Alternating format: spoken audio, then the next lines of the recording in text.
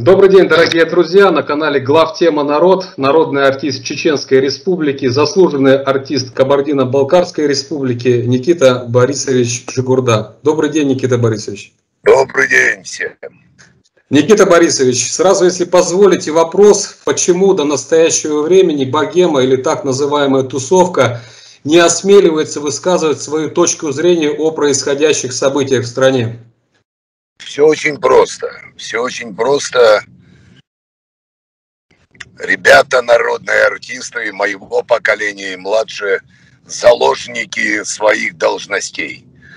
Да? Худруки театров, руководители музеев, рекламы, которую им город дает в лице Собянина СС, они куплены. Увы, они продали свою совесть и не понимают, по большому счету, я убежден, не ведают, что творят, потому что останутся они в народной памяти как раз как антинародные артисты. Вы наверняка знаете этих людей, Дмитрия Певцова, Владимира Машкова, да. Викторию Дайнека, Татьяну Буланову. Они баллотируются как кандидаты в депутаты Государственной Думы. Это по собственной инициативе, либо это компромат какой-то, как вы сказали? Это не принуждение, это, можно сказать, синтез, э, в том смысле, что они э, в своей профессии дошли, взяли определенную планку, и они хотят роста, им предлагают, как мне еще полтора года назад предлагали э, от «Справедливой России» быть э, кандидатом в депутаты. Я в эти игры не играю и считаю, что ребята, все вышеперечисленные, другие делают большую ошибку, особенно Дима Певцов, э, идя от «Единой России». Танюша, та хоть от Родины шла, и Таня Буланова, и сама партия Родина сняты с выборов, да?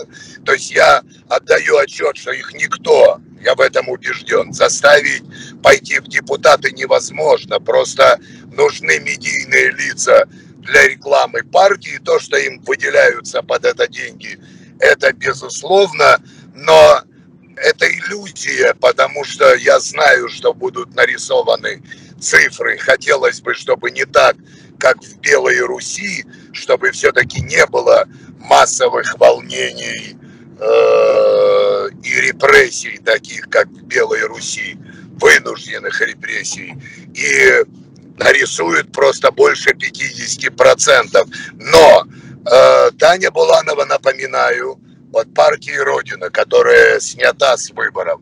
А вот то, что уважаемый мной когда-то и любимый Вообще-то я всех люблю, но не всех уважаю. Так вот, э, то, что Дима Певцов пошел от «Единая Россия», как народ называет «Едим тебя, Россия». Ну да, он как вот самовыдвиженец, это... но при поддержке, очевидно, да, да партии да, власти. Да, да, вот это мне грустно от этого, потому что мы снимались э, вместе когда-то с Димой, и он мне нравится и как артист, и он настоящий мужик, что называется – деньги. Деньги и желание что-то изменить. То есть я думаю, что он для себя оправдывает это тем, что типа вот я приду и что-то сделаю. Это иллюзия. Даже если бы и партия Родина там прошла и так далее, все равно большинство на стороне Единой России или э, ЛДПР и коммунизм, и Зюганова дедушки. Поэтому Э, когда еще сняли Пашу Грудинина и Николая Бондаренко, мной любимые и уважаемые, я понял, что реально будет нарисовано все, снимают истинных соперников, тех ребят, э, ну и девчонок, которые даже будучи в меньшинстве в Думе озвучили бы острые очень вопросы и проблемы. Видите то, что сегодня творится на выборах, когда всех явных конкурентов убирают из игры, поскольку э, ребята без совести и с проданной душой,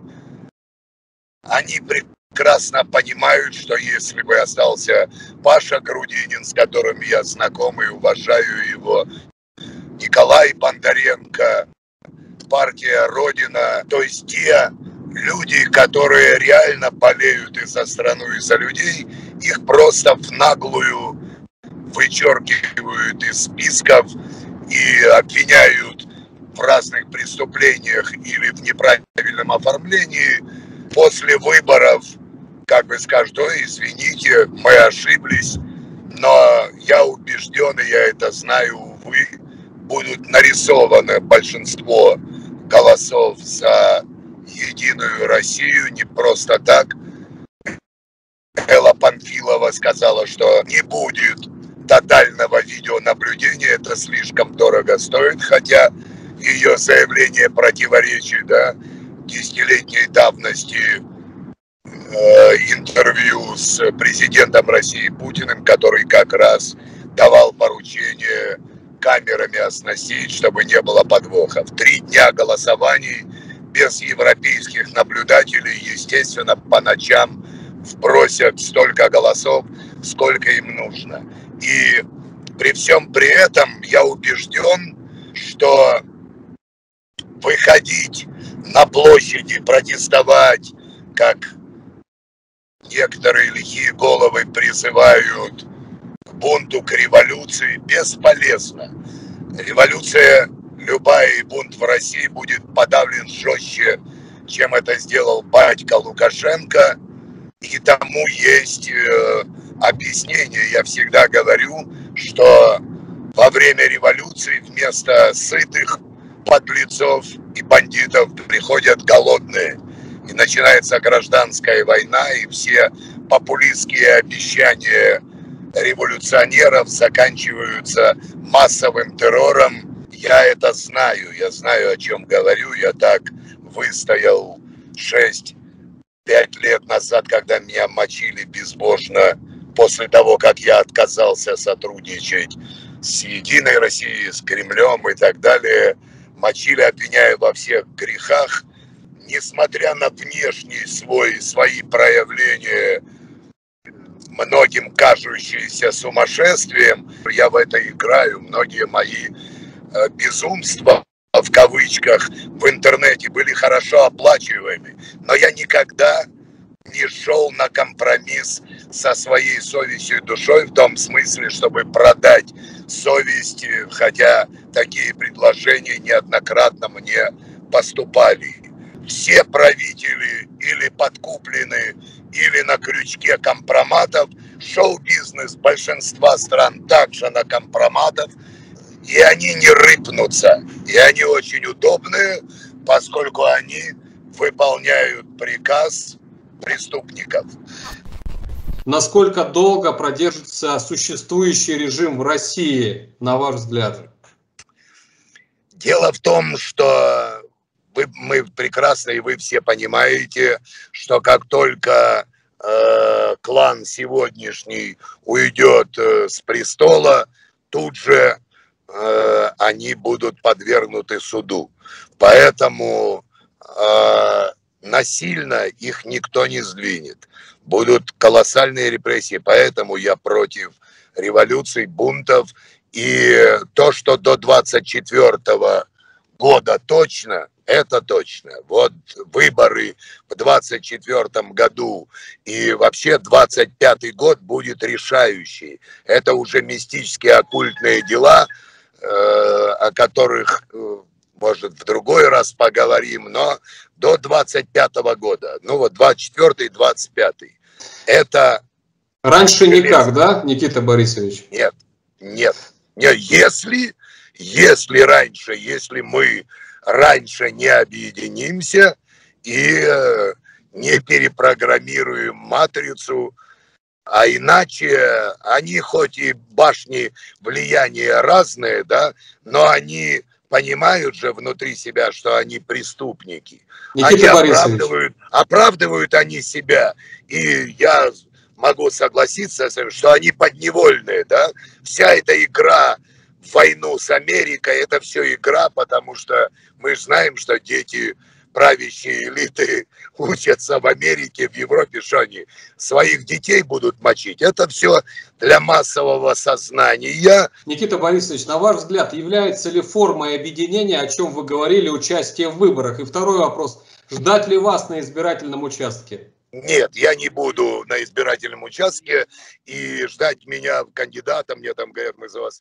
Нет, я знаю, что это иллюзия, еще раз говорю, что будут нарисованы те цифры, которые будут нарисованы для Единой России, и э, э, мое участие как раз и заключается в том, что я говорю то, что я знаю, не думая о том, что обо мне подумают, что напишут. Ну, сумасшедшие и сумасшедшие. Ну, да и ладно. Значит. Нужно ли участвовать людям в выборах, на ваш взгляд? Нужно. Нужно, нужно, потому что они сняли Пашу Грудина, Бондаренко, Танюшу Булан, там других, именно для того, чтобы вызвать апатию в людях чтобы пришло как минимальное там 25-30%, а все остальное по закону, да, будет распределено.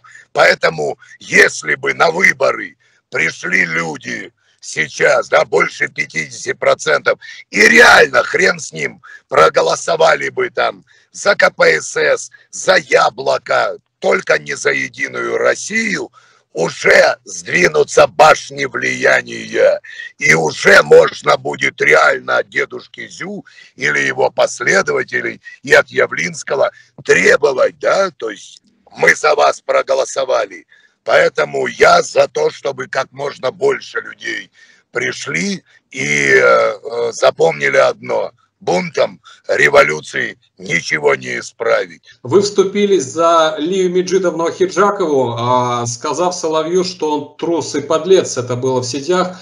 Не ответил вам Владимир Соловьев? Он сыкун. Я его неоднократно вызывал на ринг. И, кстати, сейчас мне позвонили из промоутерской компании, зовут меня на ринг, чтобы с кем вы хотите биться. Я говорю, первый Соловьев, второй Жорин, Жопин, как я его называю, лжеадвокат.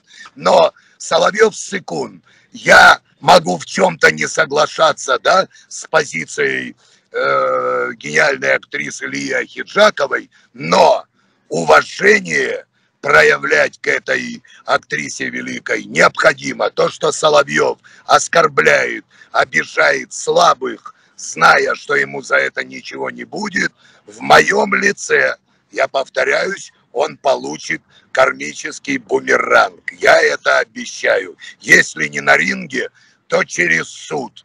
После того, как он официально откажется от поединка со мной, я подам на него в суд за оскорбление в свой адрес и устрою из этого хорошее шоу по вертикали. По вертикали, чтобы порадовать тех, кто не может начистить ему физиономию или потягаться с ним в суде. Я должен бежать сейчас. Спасибо огромное, Никита Борисович. Удачи! Помните, вы боги, мы дети божьи. Значит, мы боги на планете Земля. И мы сможем, независимо от профессии, от статуса, объединившись, перепрограммировать матрицу и убрать подлецов из тотальной власти. Есть!